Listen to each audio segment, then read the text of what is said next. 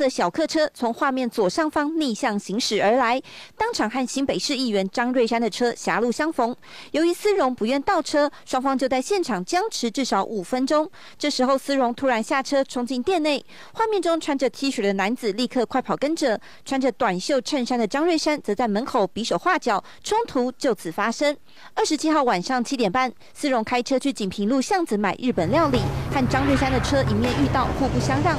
思荣冲进店内想拿外带便当，张瑞山的司机很生气，跟进店内大声咆哮，甚至动手抓住思荣，拉他的头去撞玻璃，还做事出拳要打人。思荣吓得躲进车内大喊救命，张瑞祥和司机跟着他到车外动手开车门。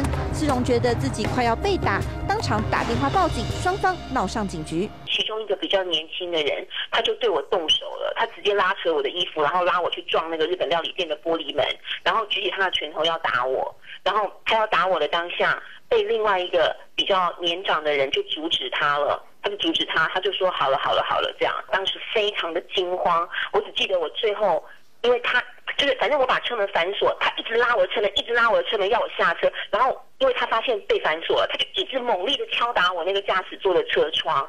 实地来到事发地点，单行道看来狭窄，会车不容易。被指控动手的张瑞山喊冤，澄清是思荣违规逆向在先，不肯倒车就算了，还悠哉下车买便当。动手的是司机，和他没有关系。我在指挥交通，后来我就我让司机在叫，哦，既要拉他，你知道吧？说你既然车来不开锁。他，我那司机真的讲的蛮大声的，他去他他的头，我有看到，他可能就真的是有放到玻璃里事实。啊，我去跟他说不能这样，也是事实。啊，我也没有跟他动手，也是事实。看到他买便当，我就知道这人都在东升购物台。主持人，我不知道他叫什么名字啦。司容气炸了，要对张瑞山和司机提告伤害。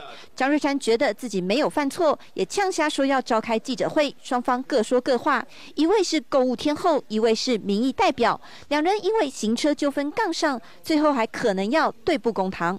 一电视记者。